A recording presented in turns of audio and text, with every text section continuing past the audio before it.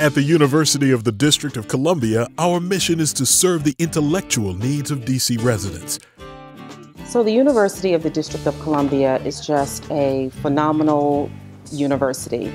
It is the only public urban land grant institution in the country, and it is the only public institution in the District of Columbia.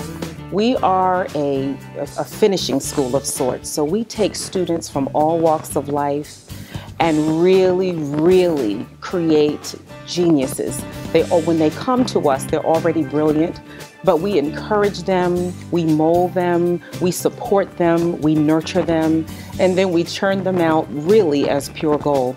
With 68 fully accredited undergraduate and graduate degree programs, we are a stepping stone to improving the lives of a diverse student body. Professors are really top notch. Um, I have not had one professor that wasn't absolutely amazing. This journey that we're on is, is, is, a continual growth process, and I feel like I learned a lot before I got here that was valuable for this experience. However, uh, what I learned here uh, has been proved to be invaluable, and I know that it will carry me to the next level um, and prepare me for the challenges that are, that are ahead. Big things are happening at UDC, where lives are changed. For more information, visit us online at udc.edu.